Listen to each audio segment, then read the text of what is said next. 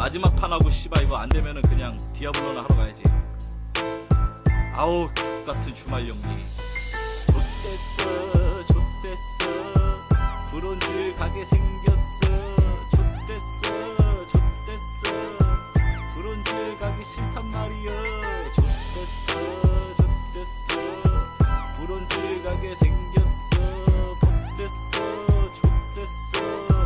브론즈 가기 싫단 말이야 아니 씨발 조합이라도 맞추면 내가 말을 안해. 그냥 씨발 탱커 소냐 하나 고르면 그게 탱커인 줄 알고 씨발 3딜에다가 무슨 힐러는 뭐 카라짐 뭐 릴리 나오고 한타 하면은 씨발 애들이 무슨 스킬을 쓰는지 그걸 딱 보고 들어가야 되는데 이 개새끼들은 그냥 막 들어가. 무슨 탱커가 씨발 앞에 들어가서 돌아오질 않아. 뒤에 힐러가 물리고 있는데 이 개 족같은 실버 브론즈 골드 새끼들은 개념이 없어가지고 영리를 하면은 씨발 무슨 조합도 안 맞추고 국면계도 모르고 미니맵을 보는지 마는지 씨발 그걸 왜 보고 사냐?